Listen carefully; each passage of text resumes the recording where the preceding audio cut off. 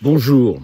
Le mantra du moment, le mot d'ordre du moment, c'est de vivre. On a été euh, tellement privé de, liberté, de contact avec les autres que retrouver la route, etc. Ça, c'est le, c'est la règle.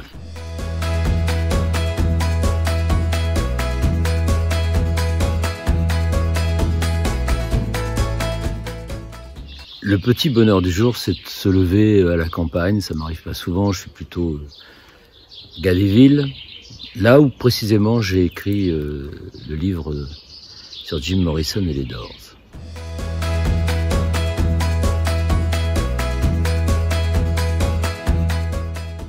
La question que j'aimerais qu'on me pose à l'ébitard, parce que je suis pas, euh, je me sens pas de donner des, des leçons de politique, mais j'aimerais souvent qu'on me demande ce que je pense de la façon dont le monde a évolué entre le moment où j'étais gamin et aujourd'hui.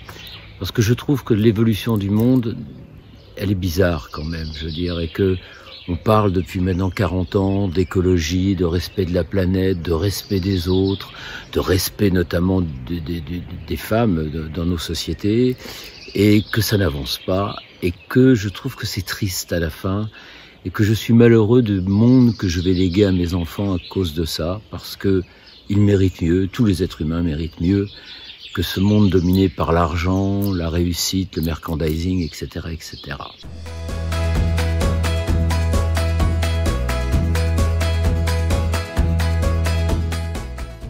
J'aime pas qu'on me demande comment je vais parce que je fais partie des gens qui ont quand même un peu la chance de vivre la vie qu'ils veulent, entre la musique, l'écriture, etc., etc. Et que dire que je vais bien, c'est pratiquement normal. Et euh, dire que je vais mal, c'est se plaindre et j'aime pas me plaindre.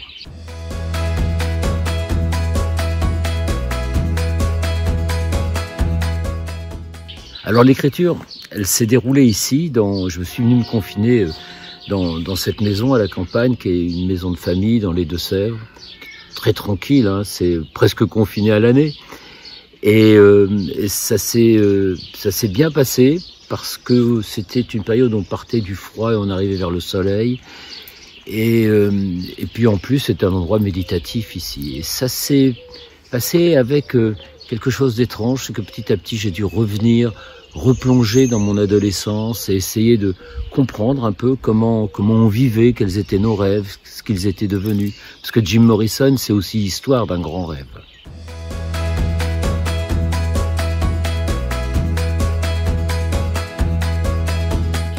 Alors, je l'ai presque résumé, le livre Jim Morrison, c'est une histoire tumultueuse, scandaleuse, mortelle, hein, puisqu'il il va en mourir jeune, avec plein d'excès, de drogue, de tout ce vous pouvez imaginer, mais c'est surtout l'histoire de la naissance de ce que j'appelle le rock'n'roll, c'est-à-dire cette musique qui portait des idéaux d'écologie, de liberté, de rêve, d'égalité, mais aussi d'envie de vivre et de rêver, quel qu'en soit le prix. Ça, c'est ce que raconte ce livre, rêver quel que soit le prix, même si, au bout du compte, c'est un peu triste à la fin.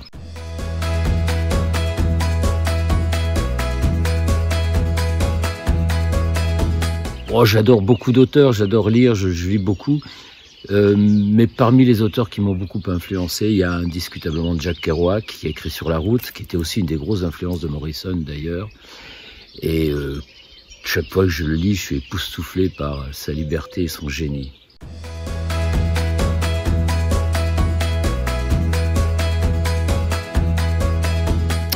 L'indispensable, c'est de faire un peu de musique euh, avec des amis.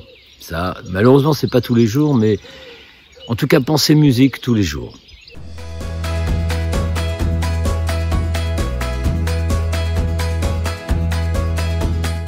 Alors, quand tout cela, je pense que vous parlez du Covid, j'espère que ça va finir un de ces jours, parce que c'est quand même un peu long.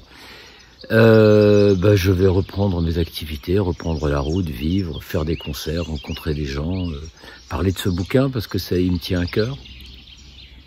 Bonne journée.